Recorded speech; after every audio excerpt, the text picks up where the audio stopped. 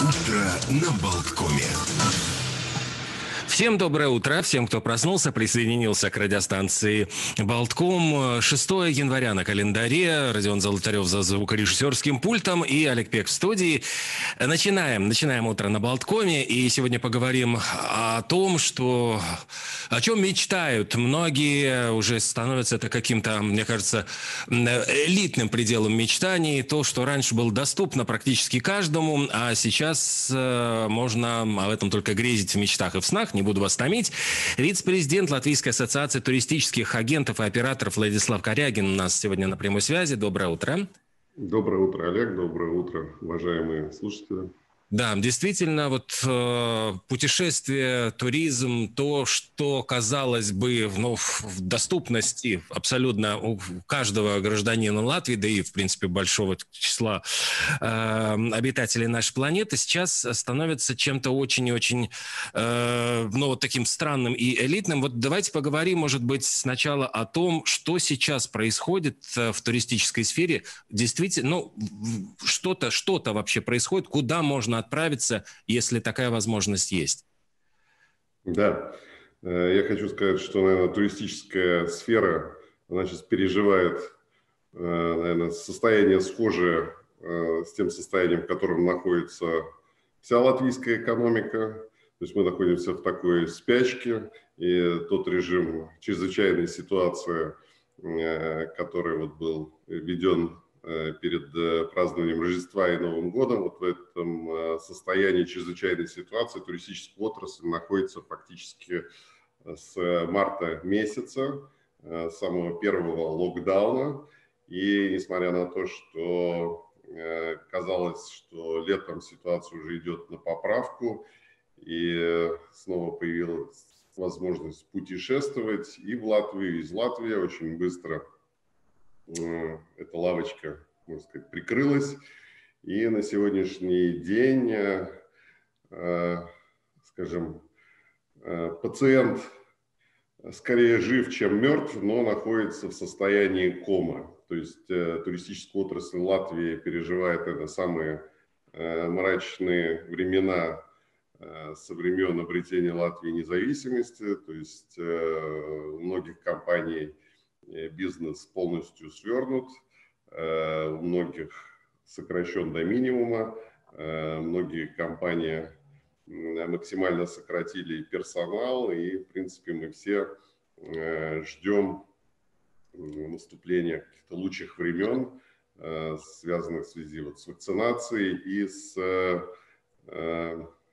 скажем, облегчением правил поездок из Латвии и в Латвию. Но, тем не менее, э, те, кто хотят путешествовать, и те, кто готовы идти, там, может быть, на определенные риски, э, эта возможность э, есть. Я знаю, что многие наши соотечественники, скажем так, по которым кризис не прошелся, вот эти рождественские, новогодние праздники проводили кто в Египте, кто в Дубае, а кто даже на Мальдивах. Так что те, кто подписан на наших э, звезд в инстаграмах и в других социальных сетях, э, могут наблюдать о том, что все-таки жизнь продолжается, э, несмотря на то, что в Латвии у нас все довольно мрачно и тоскливо, во многих странах границы открыты, туристы продолжают э, летать, естественно, с соблюдением всех мер предосторожности, э, с наличием теста либо на антитела, либо справки о отсутствии, скажем, коронавируса. Вот. Но, тем не менее, порядка 50%, стран, 50 мировых стран открыли свои границы для туристов.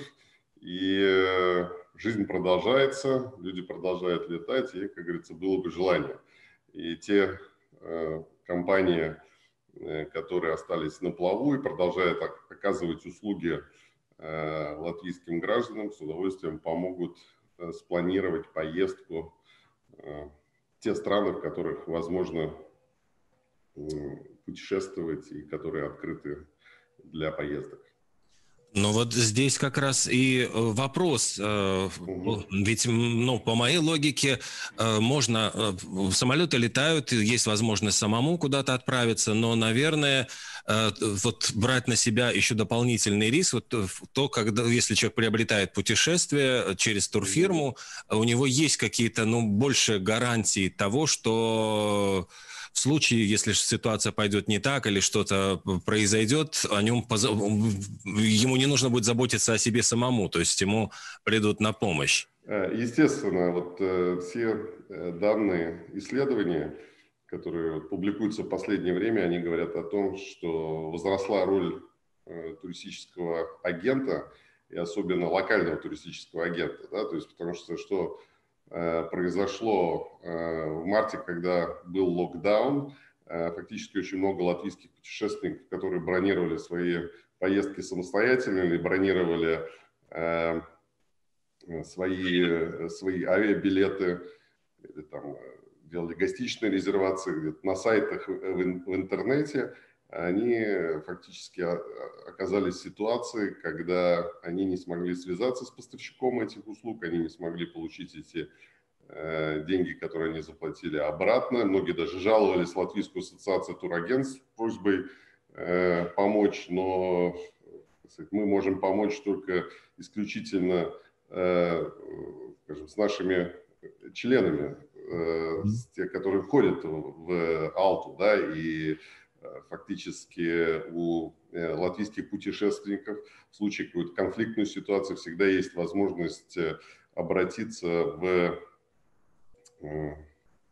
ТАЦ, это агентство по защите прав потребителей, и любую конфликтную ситуацию можно решить и всегда Э, Центр по защите прав потребителя будет на стороне латвийского клиента. А если услуги приобретаются э, за границей, тем более на э, неизвестном сайте, который не подчиняется латвийскому законодательству, то фактически клиент остается один на один с проблемой. Я знаю, что очень много случаев, когда ну, фактически наши путешественники потеряли потеряли деньги, и никто им не смог э, в этой ситуации помочь. Поэтому э, для тех, кто собирается путешествовать из Латвии, я думаю, что э, самый лучший и надежный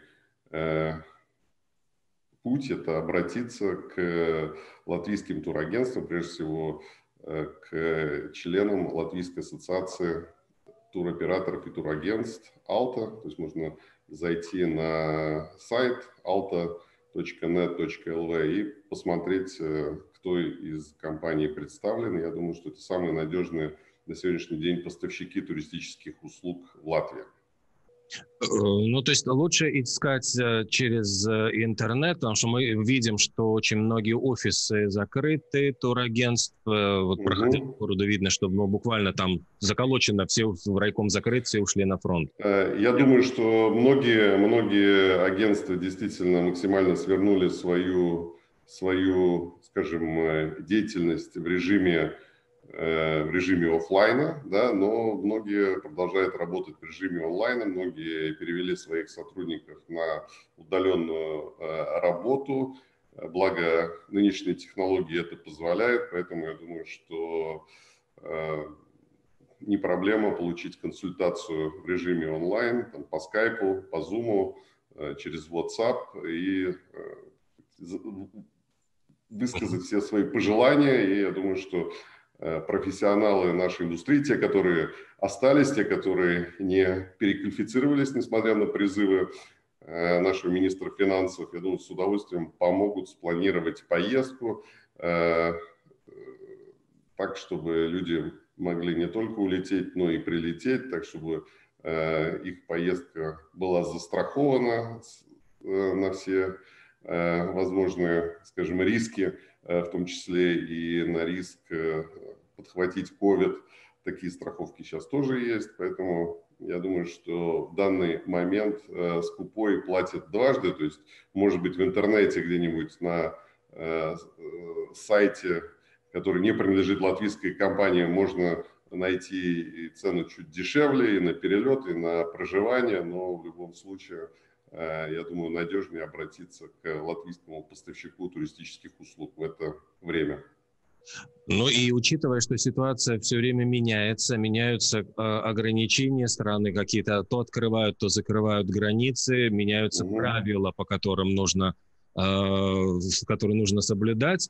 Опять-таки, это, скорее всего, вся информация у профессионалов меняется, но обновляется оперативнее, чем ее искать самому в интернете и надеяться. Абсолютно верно. Ситуация меняется не по дням, а по часам. Э, фактически даже мы это видим на, на примере э, полетов э, в Великобританию.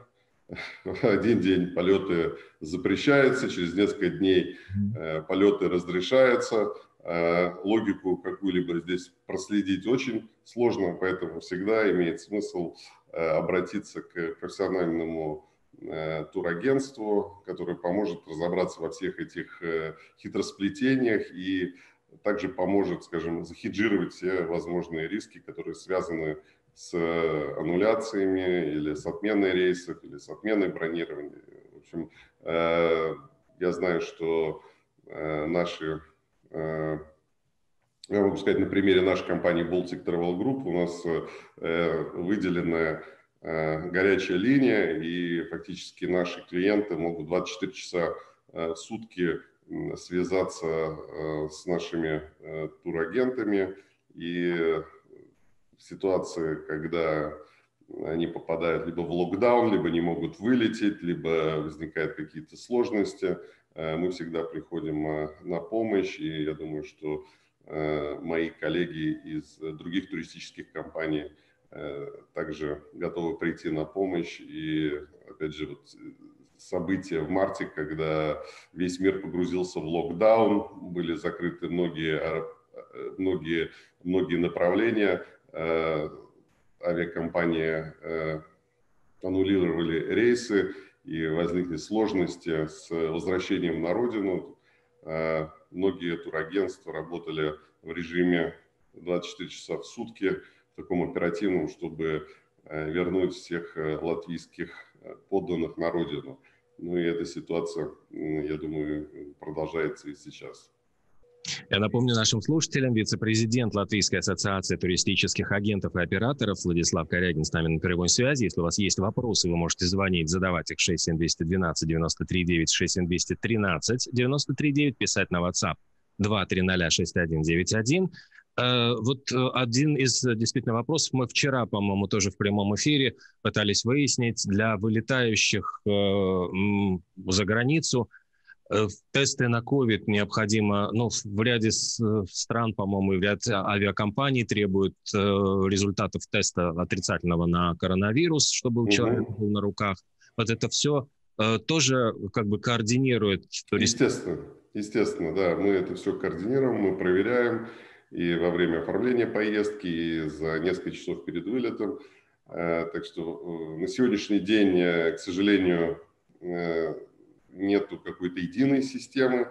То есть есть планы внедрить так называемый COVID-пас на, на, базе, на базе платформы commonpass.org. Да, то есть есть такая инициатива, то есть на сегодняшний день у каждой страны свое собственное законодательство, э, которое регулирует этот вопрос. Единства э, нету, но с целью как синхронизировать законодательство в этой сфере и сделать передвижение между странами более понятным, логичным, скажем, и таким транспарентным, да, то есть сейчас идет кампания по юнификации законодательства.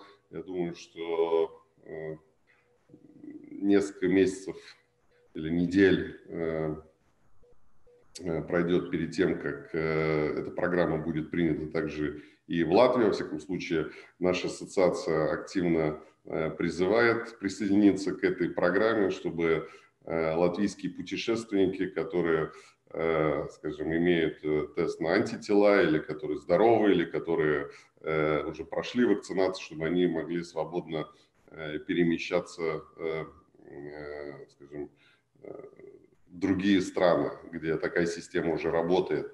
То есть на сегодняшний день мы немножечко отстаем, и я имею в виду на уровне Европейского Союза. Мы видели на примере вот прошлого сезона, что часть стран были открыты для путешественников при наличии Э, теста на отсутствие коронавируса. Э, в Латвии, к сожалению, э, так, такой программы не было, и фактически это полностью убило весь визной туризм в этом сезоне. А если бы у нас была такая программа, то я думаю, что мы бы могли бы работать в таком нормальном режиме, ну, как минимум несколько месяцев. Да, при этом, э, там, скажем, вот страна Кипр, которая тоже страна Евросоюза, э, жителям из Латвии не было никакой необходимости сдавать какие-то допол- дополнительные тесты. Э, то есть фактически в онлайне заполнялась форма, где путешественник подтверждал, что он не болеет коронавирусом, и это служило основанием для беспрепятственного Э, проезда на Кипр. То есть мы видим, что в разных странах э, ситуация совершенно разная. И опять же, как вот мы сейчас видим на примере этого зимнего сезона, э, в таком популярном направлении, как Арабские Эмираты, в Дубае, действует система, когда любой путешественник при наличии отрицательного теста на COVID может, специально, может спокойно приезжать в эту страну, наслаждаться отдыхом, и э, страна не вводит э, таких ограничений губительных для экономики и для э, не только для скажем, туристического сектора, но и для всей экономики. То есть вот этот пример, например, в Дубае мог бы послужить для нас тоже таким образцом, как можно действовать для того, чтобы привлечь. Да, да, да, да. И сейчас очень много Э, стран э, разрабатывают стратегию, как, э, скажем, действовать в условиях постковида. Понятно, что вирус так просто не пройдет, и несмотря на то, что уже сейчас началась вакцинация, все равно я думаю, что какое-то время нам придется с ним жить, и нам надо просто приспосабливаться, как жить вот в этих Э, новых эпидемиологических условиях, но я думаю, что есть, э, скажем, два пути. Один путь – это как бы никого не пускать или всех сажать на карантин. И это, скажем, такой путь э, тупиковый, потому что он ведет к массовому банкротству предприятий туристического сектора – и к тому, что государство вынуждено будет, э, скажем, выплачивать э, компенсацию, э, либо все-таки как-то приспособиться, максимально себя обезопасить и не убивать экономику, но при этом и не подрывать здоровье латвийских граждан. То есть я думаю, что нам надо двигаться вот во втором направлении, чтобы, как сказать, и, и волки сыты. И овцы целы. И овцы целы, да. да. А вот э, Вакцина, только в Латвии, по-моему, три вакцины сейчас, э, которые активно вакцинируют население, но в мире есть и российский спутник, и еще разные разработки. Вот э, здесь не может ли быть какой-то проблемы и сложности, какой-то градации, я не знаю, туристов? Э, вот ты вакцинирован спутником, значит, у тебя будут вот такие права, ты вакцинирован там э, другой вакциной, у тебя Насколько здесь будут ли признаваться, например, вакцины, которые не получили одобрения окончательного ВОЗ э, и вот такие вот нюансы? Ну, я думаю, что надо все-таки отталкиваться от э, того, будет ли та или иная вакцина одобрена ВОЗом, как вы уже сказали, э, потому что я думаю, что ВОЗ это все-таки универсальная э, организация всемирная, да, и она как бы координирует деятельность э, национальных правительств. Э, поэтому я думаю, еще раз я, э, как я уже сказал, э, на сегодняшний день идет работа над созданием вот этого общего общего, общего как бы паспорта. Программа называется Common Pass. Желающие могут зайти на сайт commonpass.org и, и посмотреть. И я думаю, что человечество придет как бы к унификации и к стандартизации всех этих процедур, чтобы действительно вакцины между странами признавались и какое-то, скажем, движение между странами началось. Вот вы уже упомянули внутренний туризм. А насколько mm-hmm. вот эта сфера как туристического бизнеса выживает, насколько она, а, в какой она ситуации по сравнению вот с внешним туризмом? Ну, опять же, по итогам 2020 года, в связи с тем, что фактически международный туризм э, был остановлен э, латвийским жителям. Э, единственная возможность куда-то отдохнуть, это, это было на, на латвийских курортах. Да? То есть, поэтому большой популярностью пользовались домики в деревне, гостиницы на побережье, Э, я думаю, что это был один из самых лучших э, сезонов для э, ассоциации Lauku, Lauku ceļotājs.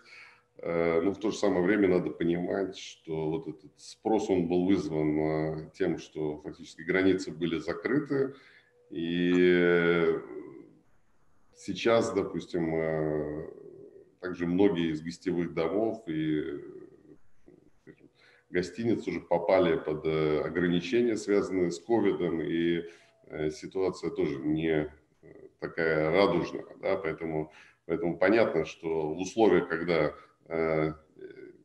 никуда дольше, дальше границы и не, не выйдешь, да, потому что по возвращении надо соблюдать там 10 дней самоизоляцию, э, такие места отдыха э, пользовались э, огромной популярностью, Э, но если все-таки говорить глобально о сфере туризма в Латвии, да, то э, основные, скажем, игроки, основные работодатели и основные э, плательщики налогов, это все-таки не гостевые дома, многие из которых работают, скажем, в такой серой налоговой зоне, да, это крупные гостиницы в Риге, конференц-гостиницы, спа-отели. И загрузка, скажем, э, в Риге там, в начале осени не превышала 10%. Э, сейчас, мне кажется, и того меньше. Многие гостиницы вынуждены были закрыться. То есть э, мы видим, что порядка 30 гостиниц в Риге остановили свою деятельность. Ну и, конечно, большой вопрос,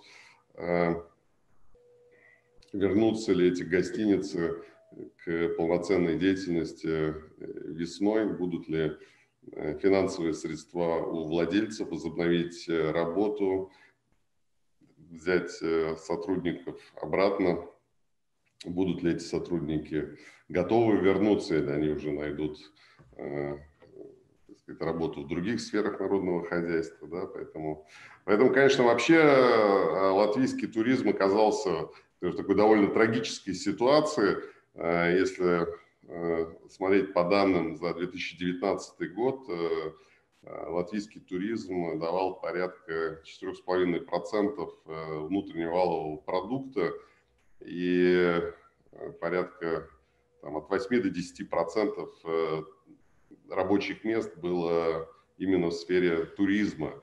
И фактически после марта эта отрасль ну, пережила такую катастрофу, была разгромлена, да, то есть э, многие э, игроки вынуждены были закрыться, свернуть свою деятельность, распустить э, персонал, и вопрос, э, что будет э, после того, как туризм начнет восстанавливаться, сможем ли мы восстановить, вернуть, да, вернуть эту сферу к жизни, и вернуть, скажем, персонал, снова заинтересовать работников, чтобы они пришли и продолжили работать. Потому что, опять же, если эта сфера не восстановится, я думаю, что мы столкнемся с большими трудностями. Ну, во-первых, скажем, все-таки говорю, туризм, как я уже сказал, была такой курицей, которая несла все последние десятилетия золотые яйца. Да, и это была одна из ведущих экспортных э, отраслей народного э, хозяйства. И плюс, э, скажем, те инвестиции, которые были сделаны частным капиталом туристическую сферу, это вот и открытие и гостиниц, и конференц-залов, и, и там, ресторанов, да, они э, сделали возможным проведение в Латвии многих крупных международных мероприятий, э, таких как президентство Латвии в Евросоюзе, саммиты НАТО, крупные спортивные мероприятия. Да, вот сейчас большой вопрос, э, что произойдет, э, допустим, э, в Латвии, если все-таки состоится в этом году чемпионат мира по хоккею. В Латвии приедут хоккейные команды и болельщики со всего мира, а у нас фактически наши гостиницы так и не смогут оправиться после вот этого зимнего сезона, да, где, где, где будут жить все эти люди. Да. Поэтому тут вопросов, вопросов довольно Э, много, и э, вот на сегодняшний день мы пока не видим э, такой, скажем, стратегии, как, как государство планирует вообще развивать туризм и как мы хотим позиционировать Латвию вот в это постковидное время. Да? Вот единственное, что мы услышали от наших министров, что нам, нам туризм не нужен, работники туризма пусть ищут себе работу в других отраслях, и, в принципе, мы не собираемся значит, поддерживать эту отрасль экономики. Мне кажется, это политика очень э, такая недальновидная. Опять же, э, понятно, что вот в данный момент э, туризм, может быть, не приносит доходы в латвийский бюджет, но, опять же, надо посмотреть на ситуацию не с позиции сегодняшнего дня, а стратегически, и понятно, что там, через э, год, э, как утверждают уже все э, международные туристические организации, вообще ученые, что пандемия пойдет на спад, и жалко будет ну, начинать все с нуля, да?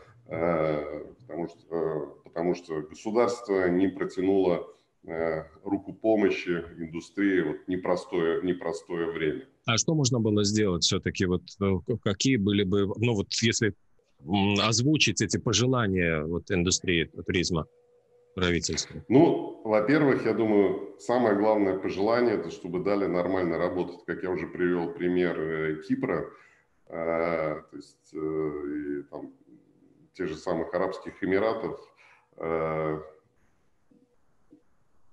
есть целый ряд, скажем, э, инструментов, которые позволяют не останавливать международный туризм, да, но при этом э, не подвергать опасности э, жизнь латвийских граждан. Да, то есть есть система тестов, система там, ковид-пассов, справки. То есть я думаю, что если бы Латвия вела бы систему тестирования там, не знаю, за 72 часа до э, прилета э, в Латвию э, или же тест э, по прибытию на месте, такие тоже, я знаю, сейчас тесты во многих странах э, происходят.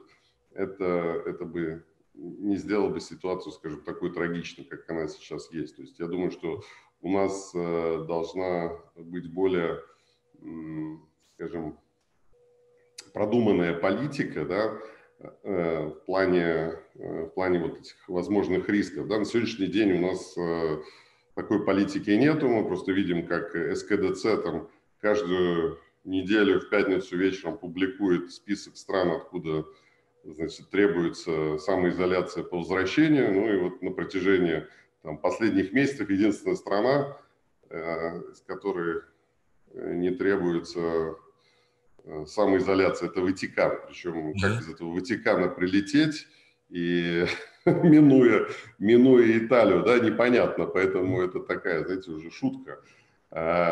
И фактически вот то, что СКДЦ принимает такие решения, которые становятся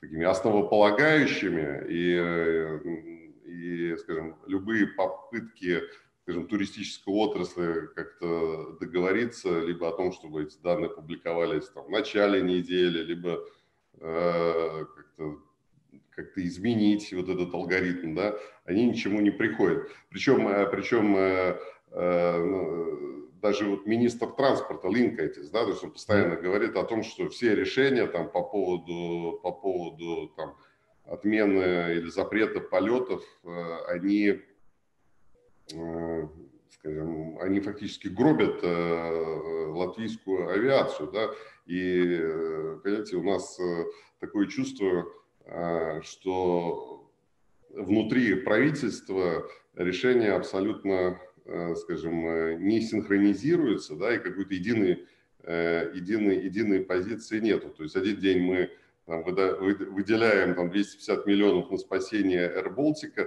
но при этом э, запрещаем AirBaltic летать.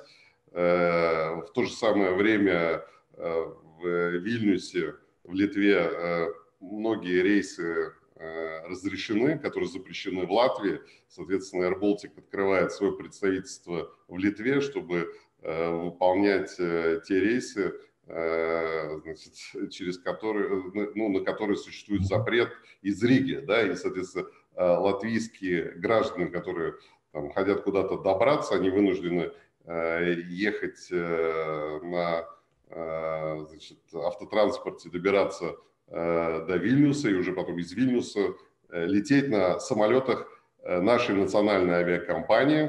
То есть какой-то вообще, понимаете, абсолютный абсолютный, абсолютный бардак, да, причем, причем, ну вот мы даже видим э, на примере э, последних э, решений, да, там, об отставке э, министра здравоохранения, то есть мы видим, что какой-то координации, единой командной работы на сегодняшний день в правительстве не существует, и каждый тянет одеяло в свою сторону. Ну, это касается, конечно, и туристической индустрии, которая больше всего пострадала в результате, в результате этой пандемии.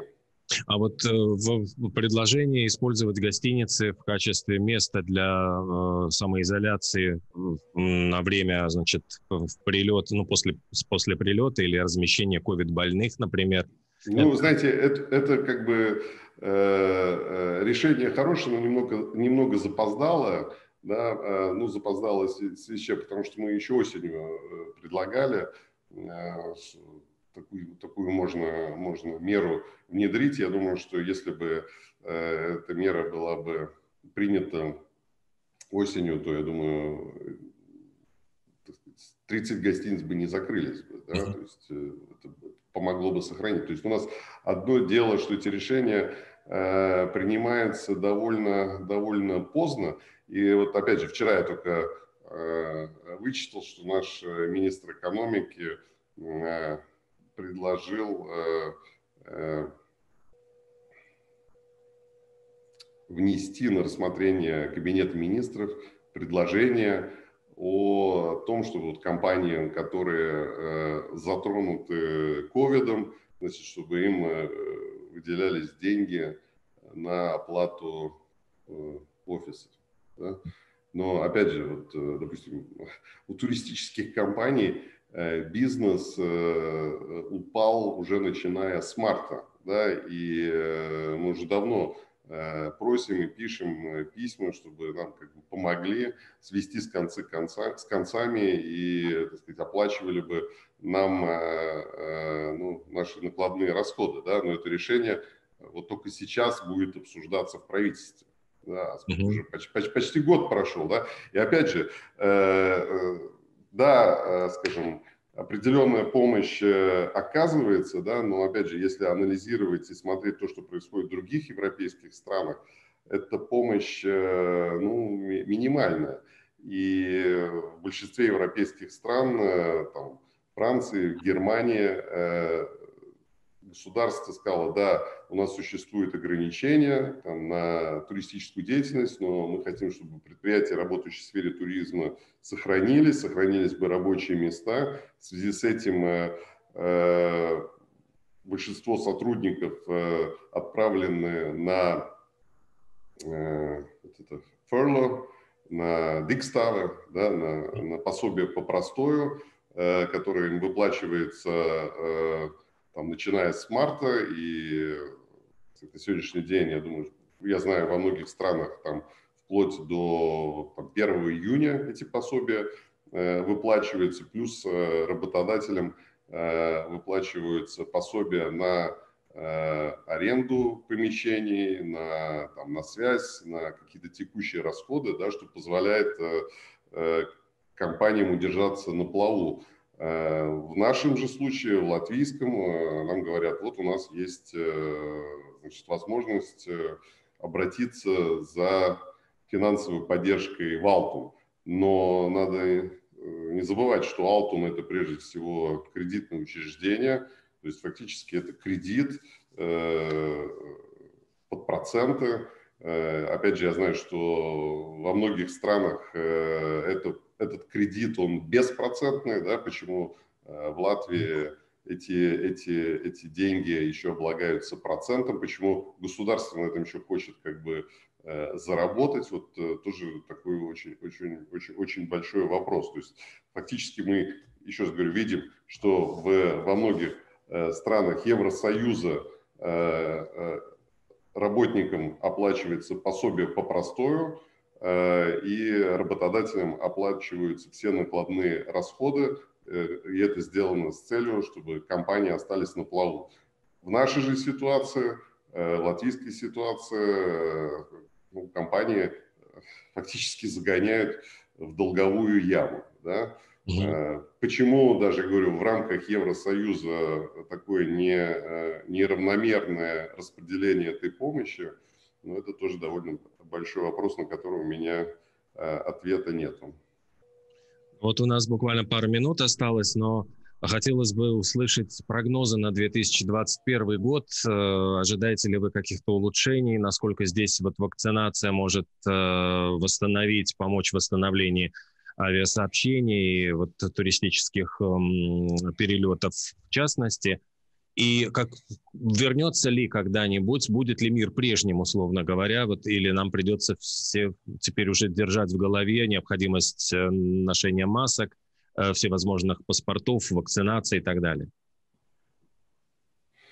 Я думаю, что, скажем, на уровень 2019 года мы вернемся года через 3-4 это опять же не, не, не только мое мнение, но мнение скажем, всего экспертного э, сообщества. Я думаю, что вот эти меры предосторожности, они будут э, сохраняться, но э, тем не менее все-таки есть надежда на то, что с учетом роста провакцинированных граждан эпидемия пойдет на спад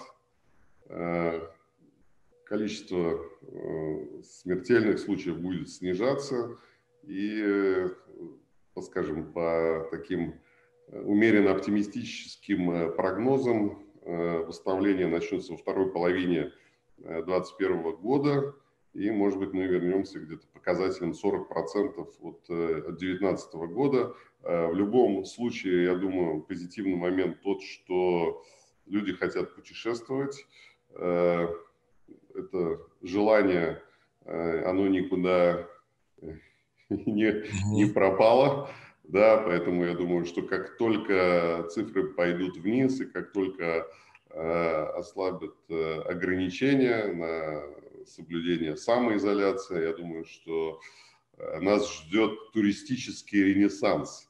Я думаю, что у нас э, будет такой взрыв спроса, и, и все те, кто сидели в заточении и э, находились на самоизоляции, они с удовольствием э, вернутся к традиционным до ковида туристическим поездкам. Поэтому я смотрю на будущее с оптимизмом и надеюсь, что туризм вернется, скажем, не сразу, конечно же, но он вернется, и мы снова сможем путешествовать по Европе и по всему миру, как это было до марта 2020 года.